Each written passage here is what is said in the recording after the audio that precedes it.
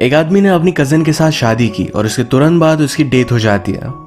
हमारे main character को लगता है कि उस कज़न ने उसे मार डाला, पर बाद में उसे उससे प्यार हो गया। अब एक्चुअल में हुआ क्या था यह हम मूवी में जानेंगे। हेलो फ्रेंड्स आज मैं आपको माय कज़न रेचल ये 2017 की एक मिस्ट्री रोमांस मूवी एक्सप्लेन करने वाला हूँ। अगर आपको वीडियो अच्छा लगता है तो प्लीज़ इसे लाइक और कमेंट ज़रूर कर दीजिएगा। बिना किसी देरी के एक्सप्लेनेशन स्टार्ट करते हैं। मूवी स्टार्ट होती है और हमारा मेन कैरेक्टर जिसका नाम है फिलिप, ये हमें स्टोरी सुना रहा है। फिलिप जब बहुत छोटा था, तभी उसके मदर और फादर गुजर गए थे। उसका एक कज़न था, जिसका नाम था एमरोस एमरोस ने उसे छोटे से बड़ा किया था। वो उसके लिए फादर की तरह था। फिलिप फिर सिटी में गया, अपनी एजुकेशन कंप्लीट की, पर उसे सिटी में रहना अच्छा नहीं लगता था। तो एमरोस के पास वो वापस आ गया। थोड़े दिनों में एमरोस की तबीयत बहुत ही खराब हो गई थी। उसका इलाज करने के लिए एक सिटी में वो चला जाता है। अब कुछ दिन गुजर चुके थे और फिलिप को एमरोस का लेटर मिला। इस लेटर में लिखा था कि अब उसकी तबीयत अच्छी है। एमरोस की और एक कज़न थी, जिसका नाम था रेचल। रेचल एक विडो थी, उसी के साथ वो रह रहा था। ये लेटर जब फिलिप ने अपने लॉयर को सुनाया तो लॉयर बहुत ही इंट्रिक्ट हो गया। वो कहता है एमरोस को कभी भी लड़कियों में इंटरेस्ट नहीं था। ये फ़र्स्ट टाइम उसने किसी लड़की के बारे में बात की है। इसी लॉयर की एक बेटी भी है, जिसका नाम है लुइस। लुइस एक्चुअल में फिलिप को बहुत लाइक करती है। पर फिलिप को इसके बारे में पता ही नहीं है। इसके बाद और एक लेटर आया, जिसमें लिखा था कि अब मैं रेचल से शादी करने वाला हूँ। इसके बारे में पता चलने के बाद लुइस फिलिप से कहती है, तुम्हें भी अब सेटल होना चाहिए। शादी कर कर तुम भी खुश रह सकते हो। हमेशा की तरह फिलिप इस बात को इग्नोर कर देता है। कुछ दिन गुजर गए और फिलिप को और एक लेटर मिला। इसमें एमरोस ने लिखा था, मेरी तबीयत बहुत खराब है। मैं लेटर लिख पा रहा हूँ क्योंकि रेचल यहाँ नहीं है। वो हमेशा मुझ पर नज़र रखती है। इस लेटर से वो बता रहा था कि रेचल उसे मारना चाहती है। इस लेटर से वो फिलिप को बुलाता है। फिलिप भी जल्दी से निकल जाता है। वहाँ पहुँचने पर एम्ब्रोस के और एक लॉयर, रेनाल्डी से उसे पता चला कि एम्ब्रोस की डेथ हो चुकी है।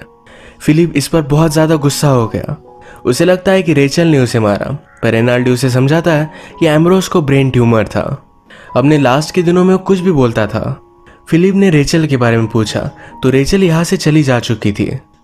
रेनाल्डी ने फिलिप को डेथ सर्टिफिकेट दिखाया, जिस पर साफ़ साफ़ लिखा था कि एम्ब्रोस की डेथ ब्रेन ट्यूमर की वजह से हुई थी। फिलिप इस बात पर बिलीव नहीं करता। उसे अब भी लगता है कि रेचल ने उसके कज़न को मार डाला। फिलिप फिर घर आया, अपने लॉयर से बात करता है। उसने एम्ब्रोस की विल देखी, जिसमें लिखा था कि सारी प्रॉपर्टी फिलिप को मिलेगी। इसमें रेचल के बारे में कुछ भी लिखा नहीं है। फिलिप कहता है कि रेचल ने उसे मारा। लॉयर कहता है, रेचल को उसे मारने के पीछे कोई भी मोटिव नहीं है। सारी प्रॉपर्टी तो तुम्हें मिल गई है। इस विल में और एक शर्त थी कि फिलिप जब 25 इयर्स का होगा, तभी उसे सारी विल मिलेगी। तब तक इस पर उनका लॉयर नज़र रखेगा। इसका नाम है निक एक दिन फिलिप को रेचल से लेटर मिला।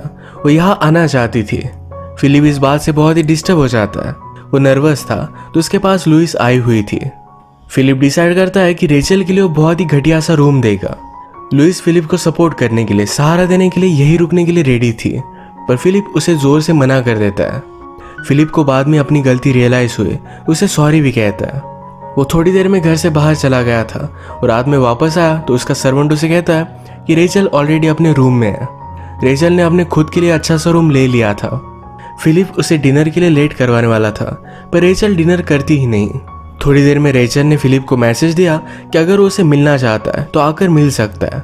रेचल फिलिप को देखकर बहुत ही सरप्राइज़ थी, क्योंकि फिलिप और एम्ब्रोस ये बहुत से सेम दिखते थे। फिलिप ने भी रेचल को जैसे इमेजिन किया था, वो वैसी नहीं थी। वो बहुत ही ब्यूटीफुल है तो उसे कुछ भी बोलता नहीं। रेचल फिलिप को नर्वस देखकर कहती है, अगर तुम चाहो तो स्मोक कर सकते हो। रेचल ने कहा कि एम्ब्रोस ने मुझे इस रूम के बारे में स्टोरी बताई थी। ये एक्चुअल में तुम्हारे एंड का था। तुम्हारी एंड एक क्यूरेट के प्यार में पड़ गई थी। जब उसका प्यार सक्सेस नहीं हो पाया तो बहुत सालों तक उसने कोई भी शादी नहीं की। जब वो ओल्ड हो गए तो फिर से और एक क्यूरेट के प्यार में पड़ गई जिस दिन उसकी शादी हुई थी, उसी रात शौक से उसकी डेथ हो गई थी। ये स्टोरी रेचल ने अभी अभी बनाई तो इस बात पर ये दोनों बहुत हँसते हैं। रेचल की पर्सनैलिटी बहुत ही लाइकेबल थी। वो अगले दिन अपने हॉर्स पर बाहर निकलती है। अमरोज जो भी चीज़ें करता था, जो भी चीज़ें उसे अच्छी लगती थी, ये सब वो ट्राई करना चाहती थी। फिलिप भी उसके साथ आया। ये दोनों साथ घूमते साथ चर्च में जाते तो सारे लोग इन्हें घूर रहे थे। फिलिप ने अपने सब फ्रेंड्स वगैरह को बुलाया और जब ये डिनर करते हैं तो रेचल सबसे घुल मिल जाती है। सबको बहुत पसंद आई थी। डिनर के बाद रेचल ने फिलिप से कहा, तुम्हें लुइस से शादी करनी चाहिए। जिस तरीके से वो तुम्हें देखती है, उसे साफ़ साफ़ पता चलता है कि तुम्हें बहुत लाइक करती है। फिलिप कहता है कि मुझे उस सब के बारे में कुछ भी पता नहीं, पर मुझे पता है, मुझे तुम्हें देखना बहुत अच्छा लगता है। रेचल यहाँ से जाना चाहती थी तो फिलिप कहता है कि यही रुक जाओ। रेचल का प्लान था कि अलग सिटी में जाएगी। वहाँ पर लोगों को इटालियन लैंग्वेज की लेसन देगी। फिलिप उसे कहता है कि एक विडो के लिए लाइफ बहुत ही डिफ़िकल्ट होती है। तुम यहाँ रह सकते हो। इस बात से रेचल बहुत ही हर्ट हो गई। वो मानने नहीं वाली थी। तो इसके बाद फिलिप अपने लॉयर के पास गया। उसे कहकर रेचल को बहुत सारे पैसे दे देता है। यहाँ से जाते वक्त लुइस से उसकी बात हुई। फिलिप कहता है, तुम उस दिन बहुत ही अपसेट थी। लुइस कहती है, तुमने नोटिस किया? तुम तो सिर्फ़ रेचल में ही गायब थे। सबने बात नोटिस की थी कि रेचल तुम्हें मैनुपलेट कर रही है। फिलिप इस बात को इग्नोर कर देता है। वो जब घर पर आया तो रेचल को उसने जो भी पैसे दिए थे, इसी रिसिप्ट उसने उसे दिखाई। रेचल इस बात पर गुस्सा हो जाती है। इस तरीके से उसे कोई भी पैसों की ज़रूरत नहीं थी। वो कहती कि अगर इसके बारे में किसी को पता चला तो लोग क्या समझेंगे? रात में फिलिप फिर से रेचल से मिलने के लिए आया तो रो रही थी। फिलिप उसे समझाता है कि अगर एम्ब्रोज ज़िंदा होता तो ये सारी चीज़ें तुम्हारी होती। ये पैसे लेने के लिए उसे कन्विंस कर देता है। रेचल कहती है कि मैं एक्सेप्ट करती हूँ, पर यहाँ से चली जाऊँगी। फिलिप कहता है, तुम्हारा यहाँ रहना मुझे बहुत अच्छा लगता है। उसने रेचल को कन्विंस कर दिया कि वो यही रहे। इसके बाद फिर रेचल ने घर में बहुत सारे चेंजेस किए थे। आसपास जो भी लोग रहते थे, अगर उन्हें कोई भी बीमारी हुई तो रेचल उन्हें हेल्प करती थी। एक दिन एमरोज से फिलिप को जो भी लेटर मिला था, ये लेटर उसने रेचल को दिखाया। रेचल कहती है, तुम शायद मुझे हेट करते थे। फिलिप कहता है कि जब मैं तुमसे मिला तो मुझे पता चला कि वो सब कुछ झूठ था। फिलिप कहता है कि अब मैं तुम्हें जानता हूँ, तुम ऐसा कुछ भी नहीं कर सकती। उसने लेटर जला दिया। ये अब डिसाइड करते हैं कि एमरोज के कपड़े वगैरह, ये सारे लोगों को बांट देंगे। ये सारी चीज़ें देखते देखते रेचल इमोशनल हो गई थी तो फिलिप ने उसे सहारा दिया। अब इसके बाद क्रिसमस का टाइम आ चुका था। फिलिप रेचल के लिए एक ट्री बनवाता है। वो अपनी फैमिली ट्रेजरर के पास गया। उसकी मदर ने अपने वेडिंग में जो नेकलेस पहना था, उसे लेकर आता है। ट्रेजरर उसे कहता है कि अब तक तुम 25 फाइव ईयर्स के नहीं हो। तुम्हें ऑफिशियली ये सब नहीं मिला है। फिलिप माना नहीं और ये लेकर गया। रात में उसने रेचल को गिफ्ट किया। रेचल को भी बहुत पसंद आया। इसके बाद दोनों करीब आकर एक दूसरे को किस कर लेते हैं। इनके यहाँ पर आज पार्टी थी। फिलिप ने रेचल के लिए जो ट्री बनवाया था, ये देखकर रेचल को बहुत अच्छा लगा। पार्टी में सारे लोगों ने बहुत एंजॉय किया। पार्टी में निक देखता है, रेचल के पास फिलिप की मदर का नेकलेस है। उसने फिलिप से बात की, कहा कि तुम अब तक 25 फाइव ईयर्स के नहीं हो। तुम्हें नेकलेस रेचल को नहीं दे सकते। निक ने रेचल के अकाउंट्स भी देखे थे। जो भी पैसे फिलिप ने रेचल को दिए थे, इसमें से बहुत सारे पैसे रेचल ने खर्च कर दिए बाकी पैसे कंट्री के बाहर भी भेजे हैं। फिलिप कहता है रेचल बहुत ही जेनरस है। उसने घर में बहुत सारे चेंजेस किए वो लोगों को हेल्प करती है। शायद इसी वजह से सारे पैसे खर्च हो गए। उसके अकाउंट में और कुछ पैसे डाल दो। निक कहता है कि मैंने रेचल के बारे में और भी इंफॉर्मेशन निकाली। उसके फ़र्स्ट हस्बैंड की डेथ एक फाइट में हुई थी। एक और आदमी था जो रेचल को लाइक करता था। उन दोनों में ही फाइट हुई थी। फिलिप को इस सारी बातों पर बिलीव नहीं होता। रेचल को थोड़ी देर में पता चला कि इस नेकलेस की वजह से इन दोनों में फाइट हो रही है। तो जाकर ये नेकलेस निक को दे देती है। फिलिप बहुत ही अपसेट हो गया। वो कहता है कि अगर एमरोज ज़िंदा होता तो वैसे भी ये सब सारी चीज़ें तुम्हारी होती। उसे तुम्हारे लिए विल लिखनी चाहिए थी। रेजल कहती कि एक्चुअल में उसने एक विल लिखी थी, पर कभी भी उस पर साइल नहीं किया। फिलिप कहता है कि ऐसा क्यों? रेचल ने कहा कि मैं प्रेग्नेंट थी, पर मुझे मिस कैरेज हो गया।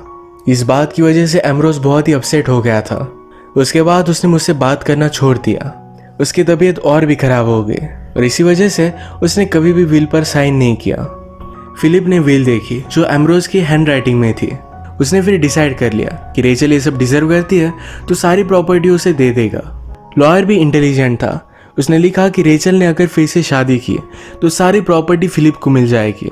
फिलिप को पता था कि रेचल अब तीसरी शादी नहीं करेगी। ये विल उसने क्रिएट कर ली। एक दिन रेचल से मिलने के लिए उसके पास रेनाल्डी आया। रेनाल्डी और रेचल एक दूसरे के बहुत अच्छे फ्रेंड थे। ये बहुत सारी बातें करते, एक साथ टाइम स्पेंड करते। ये सब बातें फिलिप को अच्छी नहीं लगी। रेचल रात में आकर फिलिप को समझाती है कि हम दोनों बहुत दिनों बाद मिले हैं। हमें बहुत सारी बातें करनी है। इसके बाद थोड़े दिन गुजर गए। अब कल फिलिप 25 ईयर्स का होने वाला था। वो अपने लॉयर के पास गया। अपनी फैमिली की सारी ज्वेलरी उसने ले ली। रात में वो एक रोमियो की तरह खिड़की से चढ़कर रेचल के पास पहुँचता है। सारी ज्वेलरी उसने उसे दे दी। कहता है कि अब मैं ट्वेंटी ईयर्स का हो चुका हूँ। अपने हाथों से अपनी मदर का नेकलेस उसे पहना है। उसने कहा कि अब मुझे पता चल चुका है कि मुझमें क्या कमी है? मैं क्या चाहता हूँ? ये दोनों करीब आ गए और इंटीमेट हो जाते हैं। सुबह फिलिप रेचल को नई व्हील देकर यहाँ से चला जाता है। बाद में उसे मिलने के लिए गया, पर रेचल अपने लॉयर के पास गई हुई थी। फिलिप उसका बहुत वेट करता है। वापस आने के बाद रेचल कहती है कि इस विल में लिखा क्या है मुझे समझ में नहीं आ रहा था। इसी को जानने के लिए मैं गई हुई थी। फिलिप फिर उसे जल्दी जल्दी फूलों के गार्डन में लेकर आया। यही पर वो उसके साथ इंटीमेट हो जाता है। हम मूवी में देखते हैं कि रेचल हमेशा फिलिप को एक चाय देती है। ये बहुत ही कड़वी है, पर उसके हेल्थ के लिए अच्छी थी। इसी वजह से फिलिप हमेशा इसे पी लेता है। आज रात फिलिप की तबीयत बहुत ही खराब हो गई थी। उसका बर्थडे सेलिब्रेट करने के लिए लॉयर और उसकी बेटी लुइस आए हुए थे। यही डिनर पर फिलिप अनाउंस करता है कि वो रेजल से शादी करेगा। इस बात से रेजल गुस्सा हो गई रेचल फिर से अब तीसरी शादी नहीं करना चाहती थी। उसने पूरी तरीके से फिलिप का प्रपोजल ठुकरा दिया। नेक्स्ट सीन में हम देखते हैं कि कल रात के बारे में फिलिप और लुइस ये दोनों बात कर रहे थे। फिलिप को पता है कि लुइस उसे लाइक करती है और फिलिप भी उसे लाइक करता है, पर उसे लगता है कि शायद दोनों एक साथ रहे तो एक दूसरे को हेट करेंगे और वैसे भी वो रेचल से प्यार करता है। वो फिर से उसे शादी के लिए पूछेगा। लुइस कहती है कि जब तुमने विल बनाई नहीं थी तो तुम्हारे साथ थी। जब उसे सारी प्रॉपर्टी वगैरह मिल गई तो अब तुम्हारे साथ वो शादी नहीं करना चाहती। इस बात से फिलिप डिस्टर्ब हो जाता है। वो घर आकर रेचल के साथ बात करना चाहता था, पर रेचल के साथ एक छोटी लड़की है। रेचल कहती है कि मैं अकेली पड़ जाती हूँ तो ये मुझे कंपनी रखेगी। वो फिलिप के साथ अकेले में बात नहीं करना चाहती। इस सब की वजह से फिलिप की तबीयत और भी ज़्यादा खराब हो गई। ऐसी हालत में रेचल उसका बहुत ख्याल रखती है। बहुत दिनों तक वो अनकॉन्शियस था, और थोड़ी दिनों बाद वो फिर से ठीक हो गया। एक दिन फिलिप जब एमरोज की बुक्स देख रहा था तो एक बुक में लिखा था रेचल मुझे मारना चाहती है। इसके बाद फिलिप फिर से रेचल पर शक करने लग गया। एक दिन वो उसका पीछा करता है तो रेचल जाकर रेनाल्डी से मिल रही थी। इस बात को लेकर उसने उसे कन्फ्रंट किया। रेचल कहती कि वो सिर्फ़ मेरा एक दोस्त है। पिछली बार तुम उस पर गुस्सा हो गए थे। इसी वजह से मैंने फिर से तुम्हें इसके बारे में नहीं बताया। फिलिप कहता है कि उसे जाने के लिए कहो, पर रेचल इस बात को मानने नहीं वाली थी। वो कहती कि सारी प्रॉपर्टी मेरी है। मुझे जो लगे वो मैं कर सकती हूँ। एज माई प्रोटेक्टर वो यहाँ इस घर में रह सकता है। इस बात पर फिलिप बहुत ज़्यादा गुस्सा हो गया। उसने उसका गला पकड़ लिया था। रेजल इस बात पर रोने लग गई वो कहती है, यही सारी चीज़ें एमरोस के साथ भी हुई थी। ये वो फिर से नहीं झेल सकती। हमेशा सारे आदमी उसे बाँध कर रखना चाहते थे। ये बात उसे पसंद नहीं। अब वो फाइनली फ्री है। हमने मूवी में देखा था कि रेचल ने एमरोस के सारे कपड़े लोगों को दे दिए थे। एक दिन एक आदमी फिलिप के पास आया। एमरोस के शर्ट में एक नोट थी। ये नोट फिलिप ने पढ़ी। इसमें लिखा है, कि रेचल मुझे पॉइजन देकर मार रही है। जो टी मुझे वो पिलाती है। उसकी टी में पॉइजन है। फिलिप जो भी शक रेचल पर करता था, ये सारा कन्फर्म हो गया। ये सब बात वो लुइस को बताकर उसकी हेल्प लेता है। एक दिन लुइस फिलिप के पास आई हुई थी। रेचल कहती कि मैं हॉर्स राइडिंग के लिए जाना चाहती हूँ। उसके जाने के बाद फिलिप और लुइस सारे घर को ढूंढते हैं। उन्हें रेचल के खिलाफ कुछ एविडेंस चाहिए था। इन्हें एक लेटर मिला, जो रेनाल्डी ने लिखा था। रेनाल्डी रेजल को बुला रहा था कि वो भी उसके साथ आकर इटली में रहे। रेजल ने उसे आंसर दिया था कि वो फिलिप को इस तरीके से छोड़कर नहीं जा सकती। इसमें रेनाल्डी लिखता है कि अगर तुम चाहो तो उसे भी लेकर आ सकते हो। इस लेटर की कन्वर्सेशन से इन्हें पता चला कि एक्चुअल में रेनाल्डी के है। रेचल और उसके बीच में कुछ भी नहीं था। वो दोनों एक्चुअल में सिर्फ़ फ्रेंड्स थे। ये पता चलने के बाद फिलिप को बहुत पछता हुआ कि रेचल पर उसने शक किया। वो जल्दी से राइड करते करते रेचल के पास आ रहा था, पर उसने देखा कि क्लिफ से नीचे गिरकर रेचल की डेथ हो चुकी है। ये क्लिफ इतनी स्ट्रांग नहीं थी। एक बार फिलिप भी यहाँ से नीचे गिरकर मरने वाला था। रेचल को इसके बारे में पता नहीं था तो इसी वजह से उसके नीचे गिरकर डेथ हो गई। जो भी हुआ, इसको लेकर फिलिप बहुत पछताता है। रेचल हमेशा एमरोज के साथ फेथफुल थी, पर एमरोज को ट्यूमर था, इसी वजह से सारी चीज़ें वो इमेजिन कर रहा था। इसके बाद मूवी में थोड़ा टाइम गुजर चुका है। हम देखते हैं, फिलिप और लुइस ने शादी कर लिया। इनके दो बच्चे भी हैं। ये दोनों एक साथ बहुत खुश थे। फिलिप ने रेचल के साथ जिस तरीके से बिहेव किया, इसको लेकर आज भी वो पछताता है। वो वंडर करता है कि वो जिस तरीके से है। ऐसा रहकर वो अपने बच्चों को क्या सिखाएगा? इसी के साथ ही मूवी एंड हो जाती है। अगर आपको एक्सप्लेनेशन अच्छा लगा तो प्लीज़ इस वीडियो को लाइक और कमेंट ज़रूर कर दीजिएगा। मैं बहुत सारी मूवीज़ लेकर आते रहता हूँ तो प्लीज़ इस चैनल को सब्सक्राइब कर दीजिए और बेल नोटिफिकेशन आइकन दोने मत भूलिएगा। हम वही से मिलेंगे और एक नई मूवी के साथ। तब तक के लिए थैंक यू और आप अपने आप का ख्याल रखिए।